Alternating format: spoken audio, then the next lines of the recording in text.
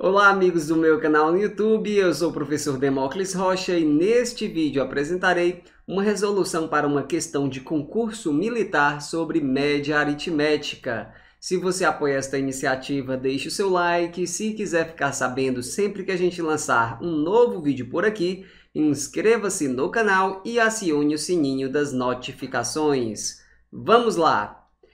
Há um conjunto de cinco valores numéricos, cuja média aritmética é igual a 40.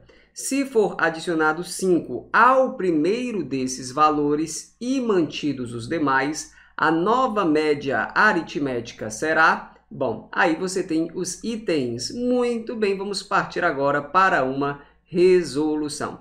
A gente não conhece quais são esses cinco valores numéricos, não. Vamos representá-los aqui por A, B, C, D e E. Para calcular a média aritmética deles, o que a gente faz? A gente adiciona todos eles, aí logo em seguida a gente pega essa soma e divide pela quantidade de valores. No caso, a gente vai dividir por 5, porque a gente tem 5 valores. Ele está dizendo que a média aritmética desses 5 valores é igual a 40. Pois muito bem. Então, isso aqui deve ser igual a 40.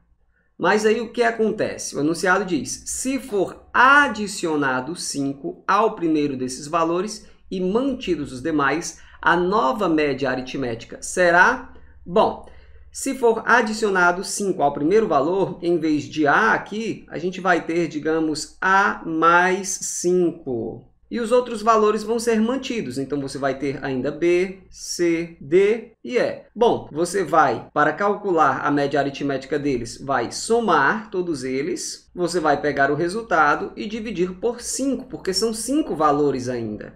Ótimo! Agora veja o seguinte, a soma de A mais B mais C mais D mais E vai ser igual a 5 vezes 40, não é verdade?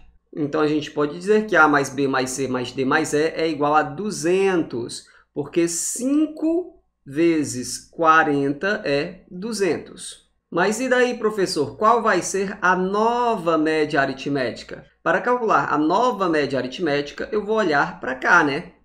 A gente adicionou 5 aqui ó, a um dos valores. Então, na prática, a soma de todos esses valores aqui vai ser a mesma soma de antes, que é 200, porém mais 5. Porque o que mudou da situação inicial para essa situação final foi que você pegou um dos valores e adicionou 5 unidades a ele. Então, a soma de todos os valores, que antes era 200, agora passa a ser 205. Aí, para concluir, basta dividir 205 por 5. Realizando essa divisão aqui, você encontra 41. E, sendo assim, o item correto é o item A de avião.